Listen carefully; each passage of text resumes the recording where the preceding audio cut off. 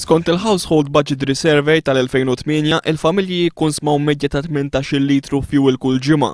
Biż-żidiet li daħlu fis-seħħ minn dan ix-xahar, il-familji jridu jonfqu medja ta' 25 ewro fil-ġimgħa f'petrol, żieda ta' tliet ewro fuq Awwissu 2010.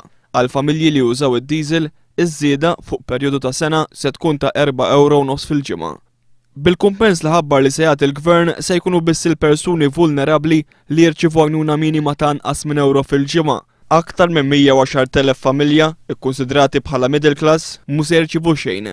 Il-Ħadd li għadda Lawrence Gonzi qal li huwa kburi bil-kumpens li se jagħti lill-familji u fissru bħala xhieda tas-solidarjetà li qed juri dan il-Gvern. Issa l-Ministru Tonio Fenech qal lil one News li l-kumpens hu ġust u saħansitra jkopri s-siddiet li se jkun hemm matul din is-sena kollha. U naħseb li l-kumpens li tajna kien kumpens ġust għal dawk li kienu iż-żidiet li kienu ġew identifikati għal din is-sena għaliex aħna meta ħarisna ma ħarisniex sfond ta' realtà ta' sitt xhur imma r-realtajiet li qed naraw għal din is-sena. Grazzi. L-unions tal-ħaddiema u l-assoċjazzjoni ta' min iħaddem iddeskrivew iż-żidiet fil-fuel bħala daqqa oħra fuq il-familji u n-negozji u l-kompetittività tagħhom.